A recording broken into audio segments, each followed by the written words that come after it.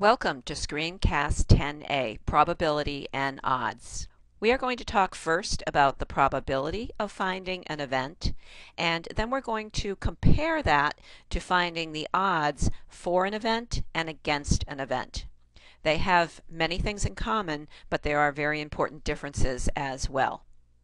The problem that we're going to be working on states a single die is rolled. What is the probability odds for and odds against rolling a 3.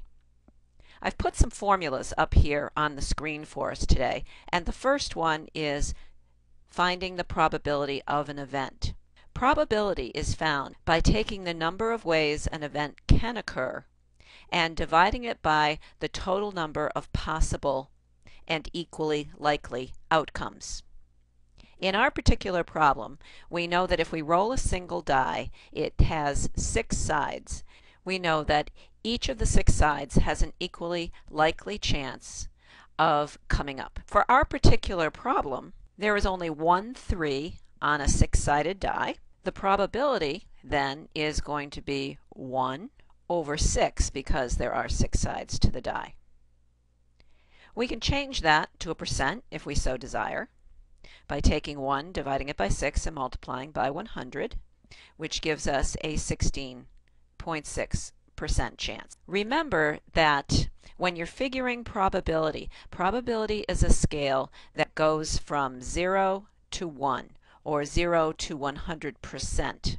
0 being not occurring, and 1 being absolutely certain to occur.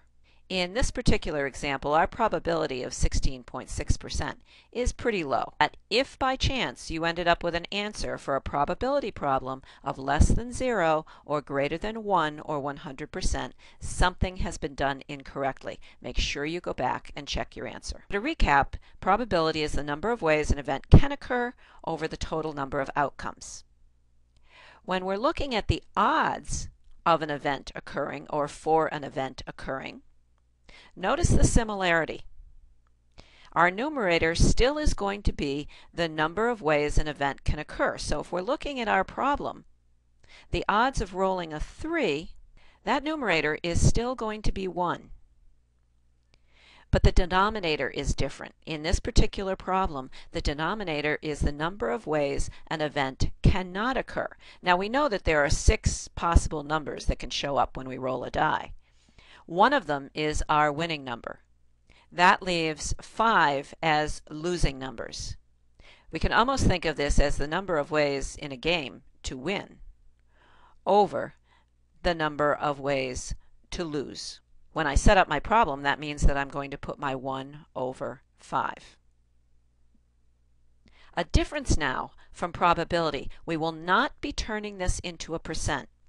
We can leave probability as a ratio or we can say the probability for rolling a 3 is 1 to 5, numerator to denominator, or we can say that it is 1 to 5 with a colon in between the numbers. However, we don't change it to a percent. The third part of this problem asks us to find the odds against rolling a 3. Carefully look at the numerator of this problem and compare it to the first two.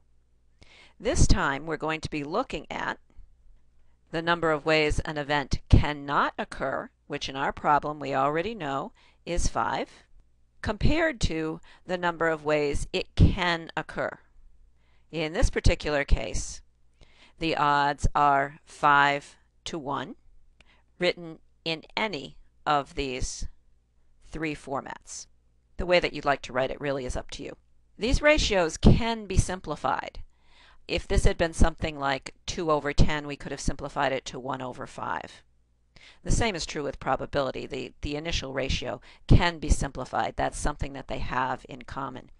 Now notice in odds that it is possible if we were to simplify these ratios, which to a whole number equivalence, which we're not going to do, it is possible that we would get a value greater than 1. So that's another difference between finding odds and finding probability. However, remember, we're going to leave odds as a ratio.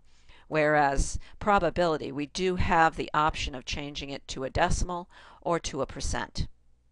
Thank you for watching this screencast.